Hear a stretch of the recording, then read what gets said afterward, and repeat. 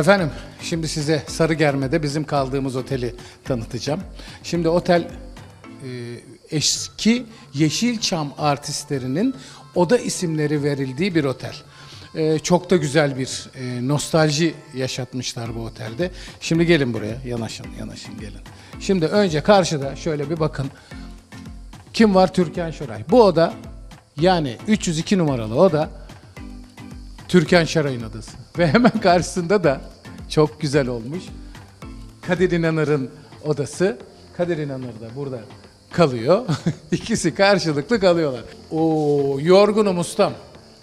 Ne katıksız somunum isterim senden ne de bir tas su. Ne taş yastıkta bir gece uykusu var gücünle asıl sükunetime. Ee, çığlığım kopsun. Uzat ellerini. Tabii ben onlar gibi okuyamıyorum bunu. Çünkü biz balıkçıyız neticede.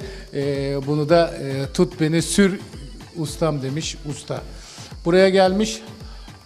Neydi o meşhur? Hani hayde gidelim diye bir parça yapmışlardı. Çok güzel de devam etmişti. Bunu da Cem Yılmaz yapmıştı. Yine bu da e, biliyorsunuz o e, aldırma gönül diye koymuşlar. Bu da yine e, başta gördüğümüz sanatçıların canım kardeşim. Yine canım kardeşim de burada biliyorsunuz. Bu da çok önemli şeydi. Buraya hemen burayı istersen alma. Alma burada çok güzel bir replik var. Onu al sana diye bir repliği var.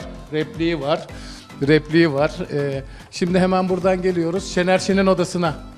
Şener Şen'in odası var. Şener Şen'in odasının hemen karşısında Adile Naşid'in odası var. Gelin devam edelim böyle. Bu yukarıda da odalar var ama tekrar geleceğiz. İşte babanın odası burası. Bakın babanın odası, Müslüm Gürses'in odası burası da. Burada da Müslüm Gürses var.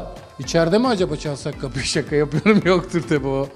Ondan sonra burada vurulacak bir adam vardı. Onu da ben vurdum diyor.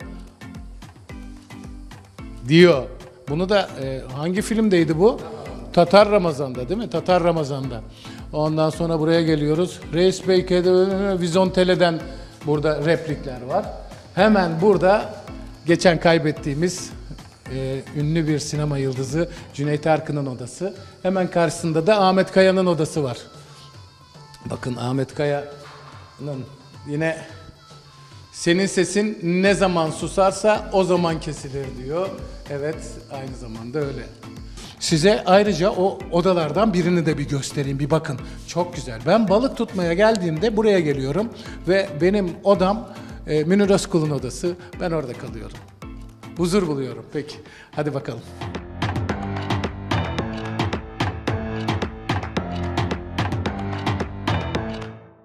Efendim şimdi bir girelim. Bakın bu Zeki Mekti'nin odası. Zeki Metin'in odasına bir girelim. Bir bakalım nasıl yapacağız, nasıl edeceğiz. Hop kapı açıldı. Gelin buyurun. Buyurun buyurun kendi odanız gibi gelin. Gelin gelin. Gelin buyurun. Şimdi böyle bir oda var. Bakın Zeki ile Metin'in e, fotoğrafları da burada. Böyle bir oturma grubu yapmışlar. Bunu isterseniz çekersiniz. Dışarıda çok güzel bir balkonu var. Böyle gelin tekrar. Burası da yatak odası. Yatak odası da çok şık olmuş. Yine Zeki ile Metin'in e, içeride fotoğrafları var. Bakarsınız görün şöyle. He. Ondan sonra şurada bir televizyon ünitesi koymuşlar.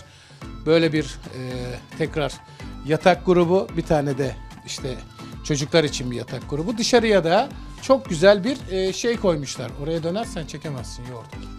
Ee, çok güzel bir e, orada da bir balkonu var. Bu tarafta da bir balkonu var. Çok da güzel bir mutfağı var aynı zamanda. Tabii burada her şey e, çok güzel. E, fiyatlar da çok öyle hani aman aman abartılacak bir fiyatlar değil. Sarıgerme'de inanılmaz bir deniz var zaten. Gelin. Şimdi artık çıkalım. Ben gelince balık tutmaya geldiğimde kaldığım tek yer. Vallahi süper yer. Hadi bakalım. Rast gelsin.